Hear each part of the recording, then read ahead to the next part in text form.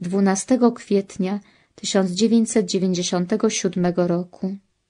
Pokój mój daję Tobie, Wasulo. Przyjdź, posłuchaj mojej matki. Najwyższy rzeczywiście zwrócił się do Ciebie ze swoim słowem. Pójdź teraz Ty, której zostało powierzone Boże orędzie. Pójdź i napisz. Christos anesti, alitos anesti. Tak, Chrystus zmartwychwstał i Bóg pragnie, abyś właśnie to powiedziała wszystkim. Powiedz temu umierającemu światu, że mój Syn naprawdę zmartwychwstał. Głoś Chrystusa zmartwychwstałego. Mój aniele, wielu bowiem w waszym pokoleniu nie uznaje tej prawdy z powodu swego racjonalizmu. Czy nie czytałaś?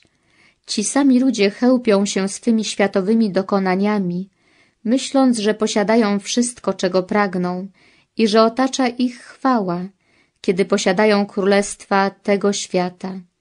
Zamiast pełni trójjedynego Boga napełnia ich przekonanie o własnym znaczeniu.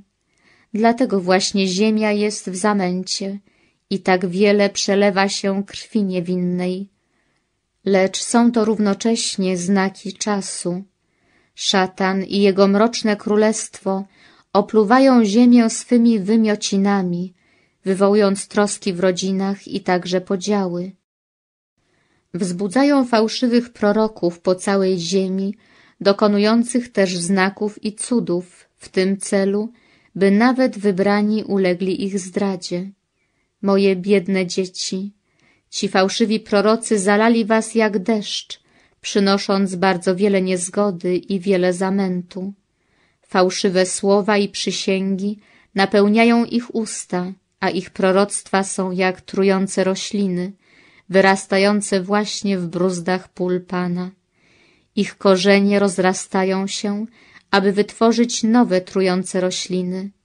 Sygnały ostrzegające przed niebezpieczeństwem brzmią wam w uszach, moje dzieci, lecz wydajecie się nie rozumieć ani nie rozpoznawać tych ostrzeżeń.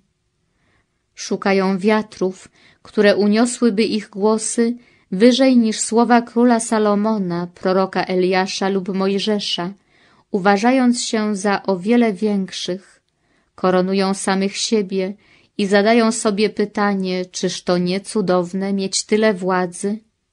Ostrzegam was, bojąc się, aby was nie zwiedziono. Niech Bóg obdarzy wasze serca rozeznaniem, aby Jego chwała, która staje wam przed oczyma, pociągnęła was ku prawdzie.